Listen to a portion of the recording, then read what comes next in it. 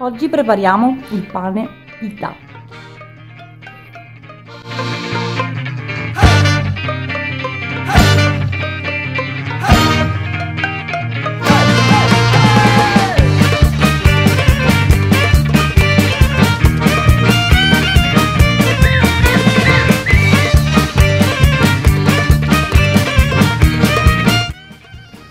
Cominciamo! Inserisco nel boccale l'esubero di lievito madre con lo spezzetto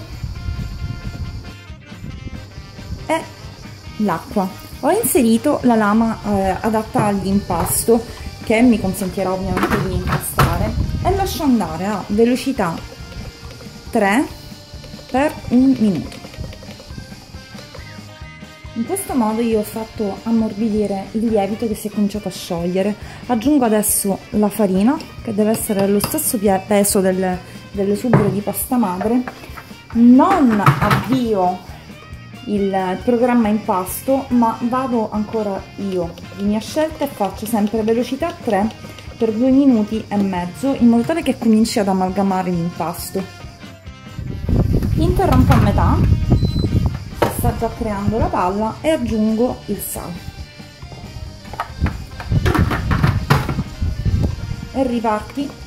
Vai Nico ultimo passaggio.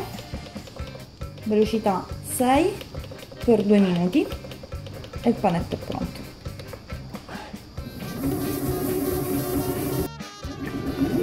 Come vedi si è creata la palla lascio impastare il resto del tempo un minuto scarso e poi si fa lievitare. Questo è il panetto pronto, adesso lo coprirò con della pellicola e lascerò lievitare per almeno 3 ore. Ok, sono passate diverse ore, come vedi non lievita tanto ma era normale che fosse così. Prendo l'impasto e lo divido in quattro parti uguali, puoi fare anche più parti e fare delle pite più piccole, vabbè, faccio una prova ma l'avrei diviso in quattro. Do un'impastatina e devo creare delle palline. Dalla pallina ovviamente devo stendere Come se volessi creare una piadina praticamente. Ok, ne ho state 5 invece che 4, ne ho fatte 3 più piccoline e 2 leggermente più grandi. Dopo averle stese con il mattarello e averle fatte, parli con me, rotonde, le lascio riposare una mezz'oretta per averle ancora più soffici, dopodiché si cuociono.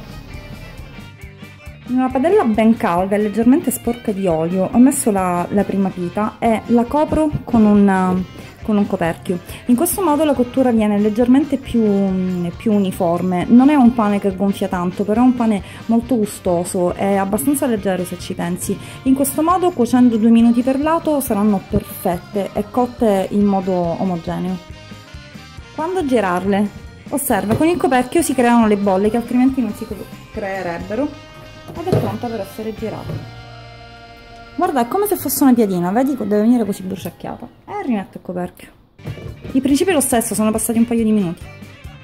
Pane pita è pronto, buonissimo, facilissimo, velocissimo. Puoi mangiarli un po' come ti pare. Noi per esempio questa sera lo accompagniamo con eh, degli straccetti di pollo e insalata e li farciremo. Gli straccetti di pollo sono molto semplici da fare, sono è una ricetta molto simile agli straccetti di vitello che ti ho mostrato diversi video fa. Trovi il link nel box info. Spero che questa video ricetta ti sia piaciuta e il pane pita è il top. Ciao!